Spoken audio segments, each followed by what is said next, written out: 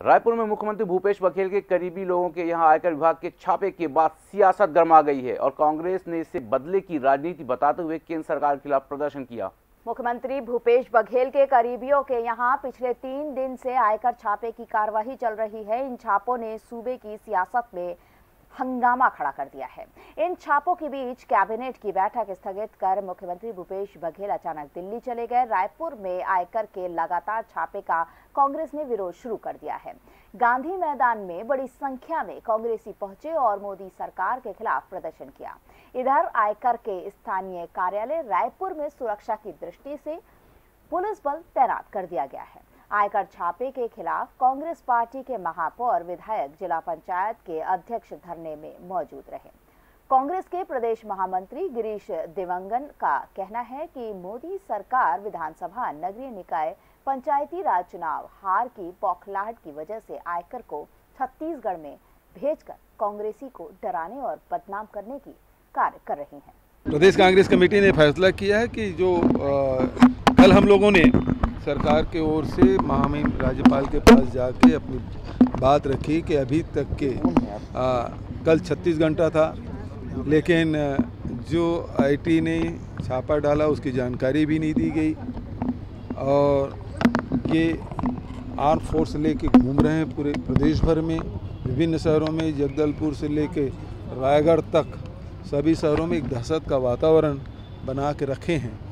तो ये छत्तीसगढ़ शांतिप्रिय प्रदेश है और इसमें इस प्रकार से आतंक, भय का कोई जगह नहीं है और उस प्रकार से माहौल को बिगाड़ने की कोशिश की जा रही है। तो ये बहुत दुर्भाग्यजनक है, हमने आपत्ति दर्ज की थी। और आज प्रदेश कांग्रेस कमेटी के द्वारा इसका आईटी कार्यालय के सामने प्रदर्शन करने का फैसला लिया है। इससे पहले मुख्यमंत्री भूपेश बघेल और उनके मंत्रिमंडल के सदस्यों ने राज्यपाल से मिलकर उन्हें ज्ञापन सौंपा। रायपुर में आयकर अफसरों को गंतव्य तक ले जाने वाले किराए की वाहनों पर चालानी कार्रवाई करने को लेकर आरोप प्रत्यारोप का दौर चला इस बीच आयकर अफसरों की जाँच तीसरे दिन भी जारी रही। मुख्यमंत्री भूपेश बघेल छत्तीसगढ़ में आयकर के छापों से खिन्न नज़र आए और इसका विरोध किया। बघेल ने इस मसले पर अपने मंत्रिमंडल के साथ मंत्रणा कर राज्यपाल अनुसुईया उइके को ज्ञापन भी सौंपा। कांग्रेस के प्रदेश महामंत्री शैलेश नितिन त्रिवेदी ने बयान जारी करके कहा कि मोदी सरकार द्वारा छत्तीसगढ़ की कांग्रेस सरकार को अस्थिर करने के लिए द्वेषपूर्ण डर, भय, आतंक और दहशत फैलाने की कार्रवाई की जा रही है। इसका कांग्रेस विरोध करती है। कांग्रेस नेताओं और मंत्रियों ने इसे ज़बरदस्ती की कार्रवाई कहा है। पूरी तरह से राज्य सरकार को अस्थिर करने की कोशिश हो रही है। क्योंकि हमारी तीन चौथाई बहुमत है और लगातार हमें सफलता मिल रही है और इस कारण से ये द्वेषवश की गई कार्रवाई है। और पूरे, चाहे वो बिलासपुर हो, रायपुर हो, दुर्ग हो, जगदलपुर हो, सब जगह स्थिति ये है कि बाज़ार बंद हो रहे हैं। इतना डर। बावजूद भी केंद्र सरकार के द्वारा राज्य सरकार को अस्थिर करने की, शुरुआत करने की कोशिश की जा रही है। हमने महामहिम राज्यपाल महोदय को ज्ञापन देकर आग्रह किया। और महामहिम ने सारी बातों को ध्यान से सुना। उन्होंने कहा कि तत्काल इस संबंध में प्रधानमंत्री जी से और राष्ट्रपति जी से वो चर्चा करेंगे। इधर भाजपा प्रवक्ता सचिदानंद उपासने ने प्रदेश सरकार द्वारा केंद्र पर लगाए बदले की कार्रवाई के आरोप पर आपत्ति की है।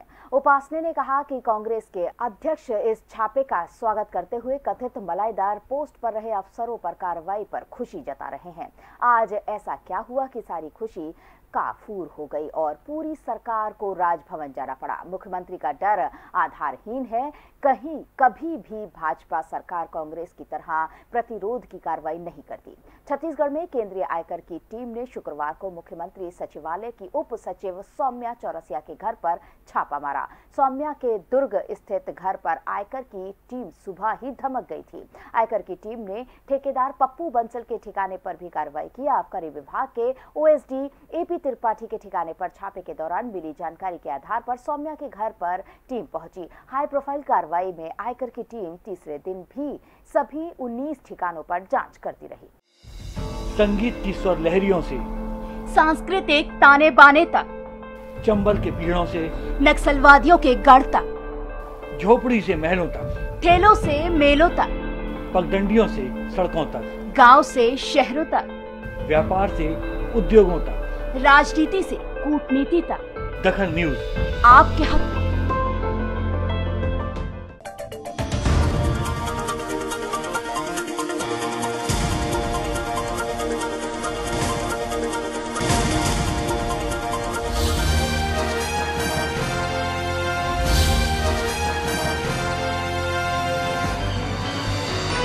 आप देख रहे हैं दखल न्यूज़।